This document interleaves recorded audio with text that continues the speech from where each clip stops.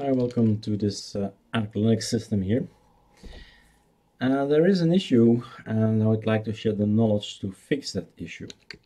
If you do an update, and from time to time that happens, if you update your system and you get this very strange long response.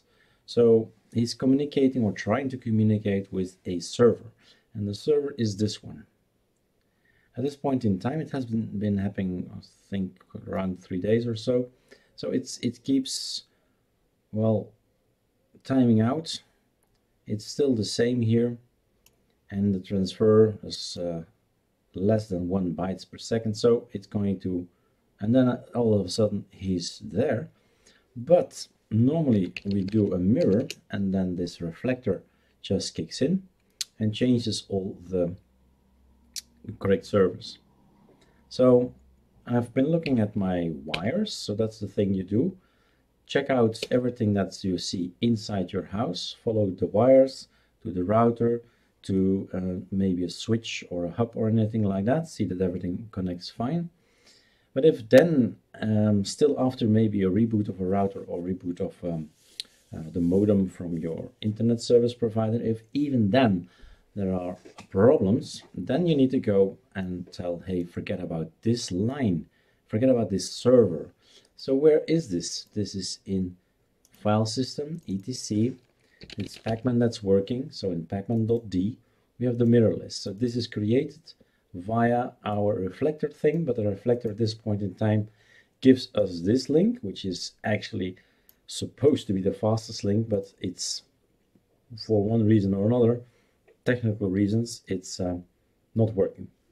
So you go inside this file and I've done this already twice and I hashtag it out.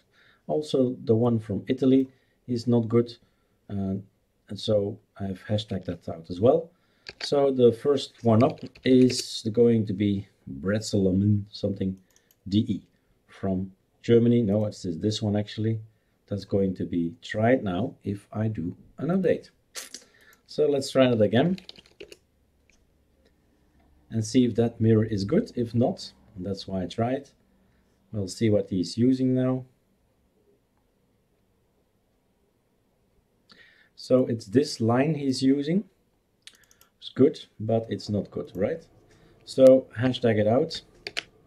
We're not taking that one either. I'm still figuring out later. I'll disconnect. Voila. Don't need to disconnect anything at my place since everything just works if you take the fourth server. So I'm already now at this line. And last time I've done it, it was uh, this one, check, check, I think it was this one. So just to show you the knowledge, if you get from time to time these servers that are not responding and say, what the hell is happening. I can't uh, change it with mirror. Mirror provides us something, but not the real thing. So what to do then? So edit mirror list and hashtag out the things that will that are not working anymore. All right. Enjoy your systems.